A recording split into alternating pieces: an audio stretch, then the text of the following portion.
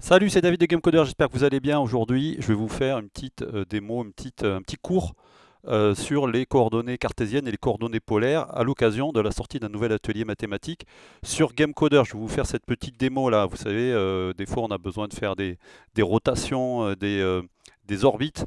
Donc regardez, vous avez, on a un soleil qui se balade comme ça sur l'écran. Alors c'est un soleil il est bizarre, hein, il rebondit contre les murs, mais bon, c'est pour la démo. Et j'ai mon petit vaisseau, là, la petite croix que je balade avec euh, les touches de direction.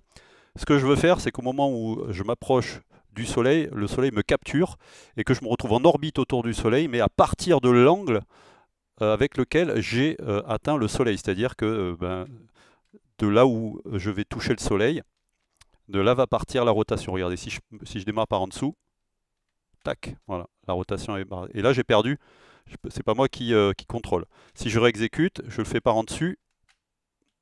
En dessus, hop, voilà. Donc là, c'est dans le sens des aiguilles d'une montre. On peut le faire dans le sens inverse des aiguilles d'une montre si on veut. Donc ça, c'est une démo de ce que sont. Alors quand, je me balade comme ça, c'est les coordonnées cartésiennes, c'est-à-dire x, y. Et quand je me retrouve en orbite, ce sont des coordonnées polaires, c'est-à-dire qu'on travaille avec une distance et un angle. Et ça, c'est très utile dans le domaine du jeu vidéo, et je vais vous expliquer ça tout de suite. Même, je vais vous faire euh, la démo en direct, c'est-à-dire qu'on va partir de ça, qui fait rien du tout, et on va coder euh, le, euh, tout ce qu'il faut pour faire ce que je vous ai expliqué, l'orbite. Euh, avant ça, je voulais vous montrer un petit peu où on est sur GameCoder. Donc, il y a l'atelier mathématique 5 des coordonnées cartésiennes, coordonnées polaires, qui est sorti aujourd'hui. Hein. C'est là, vous avez le parcours mathématique. En fait, quand vous allez, quand vous allez ici, les cours, là, vous avez les cours, vous avez toutes, les, toutes les, les familles. Vous allez dans mathématiques et vous allez à la géométrie analytique, les vecteurs, les fonctions puissance, les radians coordonnées polaires, partie 1 et partie 2. Euh, d'ailleurs, j'ai renommé ça tout à l'heure. Si j'actualise, voilà, c'est mieux. Partie 1 du polaire au cartésien, partie 2 du cartésien au polaire. Voilà, c'est des excellents ateliers mathématiques si vous voulez vraiment être expert en programmation de jeux vidéo et que vous avez un peu de mal avec les maths. Ben, nous, sur GameCoder, on vous apprend les choses de manière plus simplement, en toute modestie, vous allez voir, vu le nombre de commentaires hein, qu'on a sur les ateliers maths, vous allez pouvoir comprendre les maths euh, même si vous aviez eu du mal jusqu'à maintenant. Euh, en ce moment, on a également une jam qui se termine dans 8 jours. Il y a 26 inscrits. Vous pouvez encore, je sais que c'est Noël, je sais que c'est le déconfinement, je sais que c'est un peu compliqué, mais euh, vous, ne vous ne sortez pas de votre objectif de devenir programmeur de jeux vidéo. Continuez à travailler tous les jours, même une heure par jour. Et les jams, c'est le meilleur exercice que vous pourriez faire, que vous pouvez faire pour pouvoir vous améliorer et puis ben, devenir programmeur de jeux vidéo. Qu'est-ce qu'on a d'autre? On a un atelier JavaScript, qui, un, petit, mini atelier JavaScript qui va arriver. Euh, et il y a surtout là la formation à Git, hein, je vais la mettre là, elle est en cours. Formation à Git qui va arriver demain euh, sur GameCoder également. Comme ça, je vais pouvoir partir en vacances une petite dizaine de jours en vous laissant euh, du taf. Et puis on reprendra les DLC, sûrement un DLC. début, peut-être juste avant le, jour de l'an. On a fait un super DLC lundi hein, sur le hasard. C'était vraiment top. Donc bah, je vous invite à aller voir. Il est là, hop, le hasard faut que je le mette d'ailleurs, il est terminé ici. Vous voyez, je fais la mise à jour. Vous avez le replay sur le site de Gamecoder, vous l'avez reçu par mail, bien sûr, si vous êtes membre de la formation Gamecoder. On code un peu? Allez, on va partir de ça et je vais vous expliquer. Donc, déjà, qu'est-ce qu'on a comme code de, de, tout près ici? On a juste, je vais vous faire ça en plus petit, je suis, sur TIC80 pour ceux qui se demandent ce que c'est. TIC80 Tiny Computer, c'est un mini ordinateur tout intégré avec éditeur de code, éditeur de sprite, éditeur de map, éditeur de son, éditeur de musique, euh, avec des contraintes euh, mémoire, des contraintes euh, graphiques, de manière à pouvoir bah, apprendre à programmer comme on pouvait le faire dans les années 80, mais alors avec des performances de malade. Il y a des gens qui font des moteurs 3D absolument géniaux avec ce type d'outils. Euh, parce que ben, les perfs, euh, par contre, c'est les perfs modernes, et ça se code en Lua ou en JavaScript au choix. Euh, donc du coup, ben, vous pouvez le télécharger gratuitement. Vous cherchez ça sur itch.io, TIC80, et vous avez une version gratuite. Si vous voulez la version pro avec des fonctionnalités complémentaires, sachez que j'en offre une à tous les adhérents en Premium Pro à vie de GameCoder. Donc moi j'ai juste préparé une petite fonction distante qui reprend le principe de Pythagore, hein, tout simplement. Hein. ensuite, un petit satellite avec une position X, une position Y, qui est centré au milieu de l'écran. Euh, un petit soleil que je fais commencer en haut à gauche. Je déplace le soleil avec les touches du clavier. Euh, ensuite, je vérifie que ça enregistre bien, parce que c'est avec mon nouveau PC là. Ensuite, euh, je claire le screen, j'affiche un petit menu, enfin une petite aide. Je dessine le Soleil, je dessine le satellite à leurs coordonnées respectives. Je déplace le Soleil avec une vélocité x, y que j'ai initialisée à 0,5 ici. Euh, et ensuite, bah, si le Soleil arrive à une borne horizontale, j'inverse sa vélocité x. Si le Soleil arrive à une borne verticale, j'inverse sa vélocité y. Euh, sachez que tout ça, c'est des choses que vous apprenez sur GameCoder, hein, tous les fondamentaux de la programmation de jeux vidéo.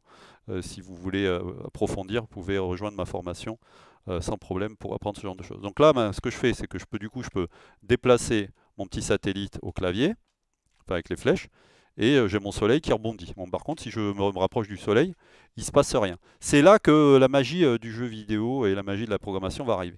Ce qu'on va déjà faire, c'est qu'on va euh, détecter si notre satellite est à, distance de 20 pixels à peu près, on va faire 20 pixels, du soleil. Pour ça, on va utiliser la fonction distance qu'on a fait tout à l'heure, tout simplement, on va faire if mat.dist. Alors pourquoi mat.dist hein Ce n'est pas une fonction qui est dans, qui est dans mat, c'est juste qu'on a étendu la table mat, simplement, en nommant notre fonction mat.dist. On l'aurait appelé dist, notre fonction s'appellerait dist. Mais on peut renchérir, comme ça on peut enrichir une librairie existante de l'UA, c'est ça qui est, bien avec ce type de langage. Alors, si, alors on, va, on va faire la distance entre, entre le satellite et le soleil. est supérieur à, à 20 ou égal à 20.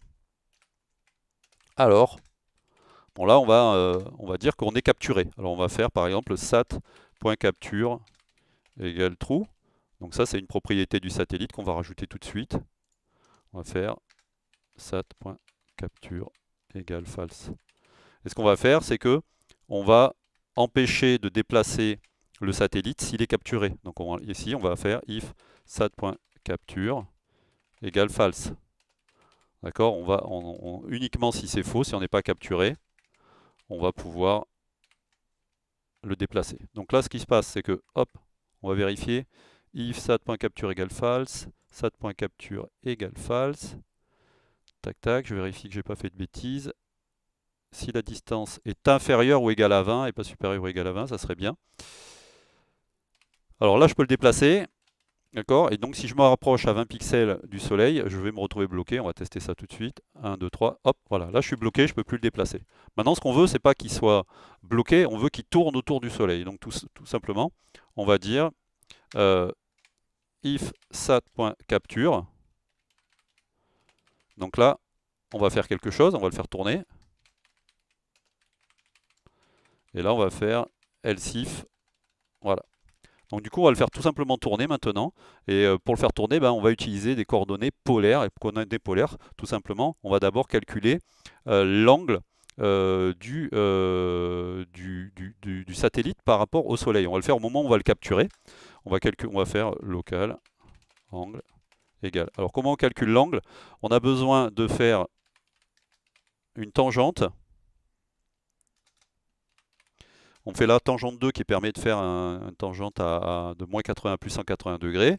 Vous avez ça dans le cours sur les maths, euh, sur les coordonnées euh, du coordonné cartésien polaire. Euh, on fait la tangente de un vecteur. Alors là, je ne les, ai pas, donc on va, on va, les calculer.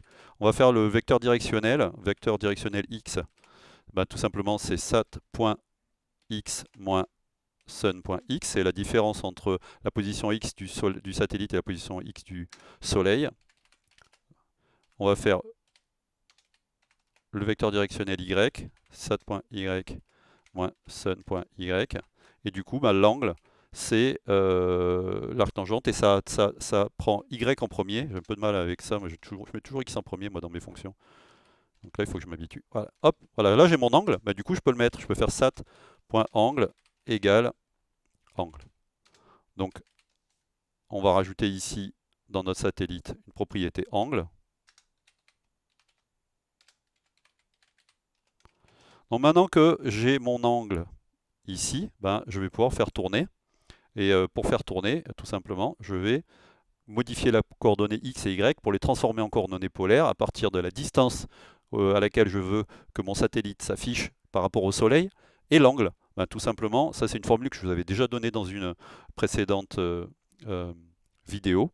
Donc c'est sat.x égale donc sun.x, on part de la coordonnée x du soleil, on lui ajoute la distance fois le cosinus de notre angle. D'accord? Et ensuite, sat.y égale sun.y plus, et c'est la même chose, 20 fois, pardon, fois mat.sinus cette fois, satellite.angle. Si j'enlève mes moufles pour coder. Donc là, ben, ce qui va se passer, c'est tout simplement, hop, vous voyez que là maintenant, mon soleil capture mon satellite, je vous le refais, si je l'attrape par la gauche, tac, et du coup, vous voyez bien que je suis capturé exactement à la position, à l'angle, si, je traçais un angle ici, regarde, on, pourrait, on pourrait presque le faire, hein. je vais le faire si vous voulez, on va faire euh, d'ailleurs une fonction line, voilà, euh, on va faire euh, sat.x plus 4, sat.x y plus 4, virgule sun.x plus 4, virgule sun.y plus 4. Je, trace un trait entre le centre du satellite et le centre du soleil. Il veut pas, c'est pas ça line, peut-être il faut une couleur. Voilà. Donc vous voyez là, j'ai mon, on voit bien la distance du coup. Et si je me rapproche, tac. Donc vous voyez là maintenant, si je devais tracer un angle ici, c'est l'angle avec lequel je me suis accroché. Bah, j'ai juste à faire évoluer l'angle tout simplement maintenant. Donc si on est capturé, je fais sat.angle égale sat.angle. Alors c'est des radians, donc du coup euh, c'est 2 fois pi, donc il faut, y aller tout doucement. Euh, donc plus 0,2 par exemple, je sais pas, ou 0,5. Ça va être même peut-être un peu rapide ça. On va essayer. Oui, c'est trop rapide. On va faire 0,05.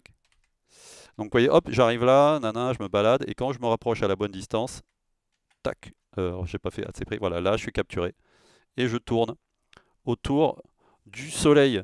Voilà pour ce petit cours assez sympa, je trouve, euh, parce que vous avez la possibilité de faire tourner des objets autour de quelque chose. C'est super pour plein plein de types de jeux. Euh, et vous pouvez aussi passer des coordonnées cartésiennes à polaires, des coordonnées polaires à cartésiennes. Tout ça grâce au c'est trop bien.